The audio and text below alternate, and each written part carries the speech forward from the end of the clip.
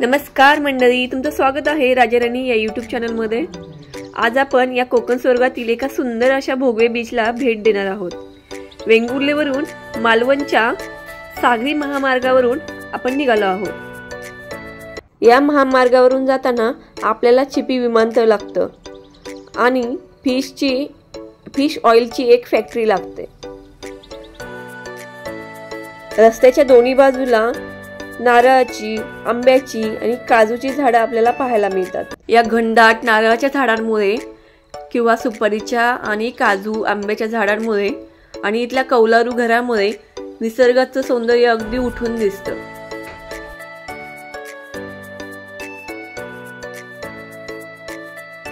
आपल्या मनामध्ये कितीही विचार चालू असले आणि जर आपल्याला हे दृश्य दिसलं तर ते आपोआपच आपलं मन खूप आनंदित होतं आणि का काय माहिती सगळे विचार आपण विसरून जातो. त्यामुळे तुम्ही कोकणाला नक्की एकदा भेट द्या. गोव्यात जाण्यापेक्षा मला तर असं वाटतं की कोकण खरंच बेस्ट आहे.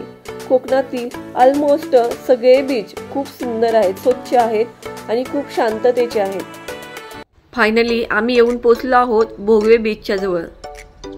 या बीचवरती इथे पार्किंगसाठी जागा थोडी कमी आहे. त्यामुळे आम्ही गाडी थोडी मागेच पार्क केली आहे. कार पार्क केल्यानंतर आम्ही पायी चालत निघालो आहोत. पुढे आल्यानंतर बीचच्या दोन्ही साईडला स्टॉल्स आहेत. नाश्ता कोल्ड ड्रिंक्स अशा छोट्या छोट्या गोष्टी आपल्याला इथे मिळून जातात. इथे समोरच एक छोटंसं हॉटेल आहे. त्या हॉटेलमध्ये तुम्हाला नाश्त्याचे पदार्थ आणि कोल्ड्रिंक्स वगैरे मिळून जातात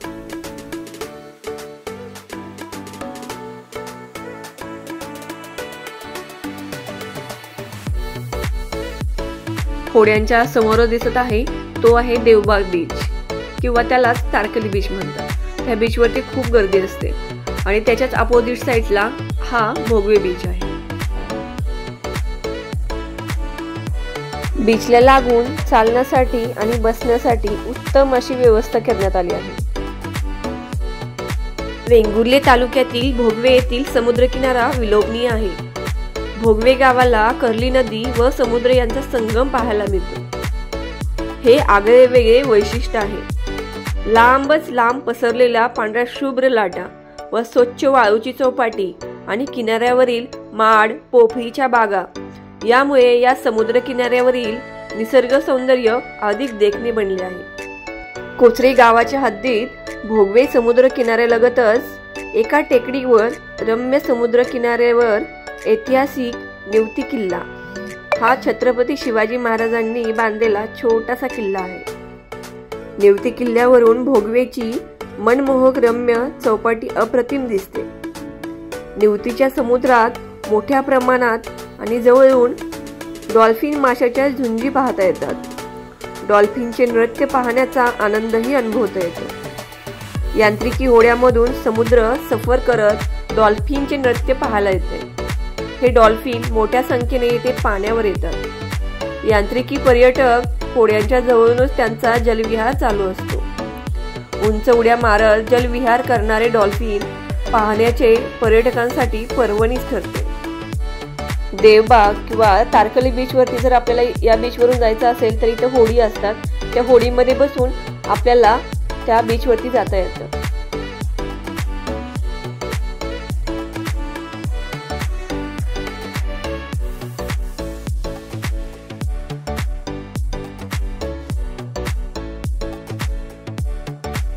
समोर जो हा खडक दिसतोय त्या खडकामधून कालवे काढले जातात. तर कोयत्याने हे खडक फोडून त्यामधून कालवे काढले जातात. त्याचबरोबर इथे तुम्हाला खूप सारे असे समुद्री खेकडे पाहायला मिळतात. तर एक खेकडे जे आहेत ते पकडले जात नाहीत. अशा सुंदर अशा भोगवे बीचला तुम्ही एकदा नक्की भेट द्या.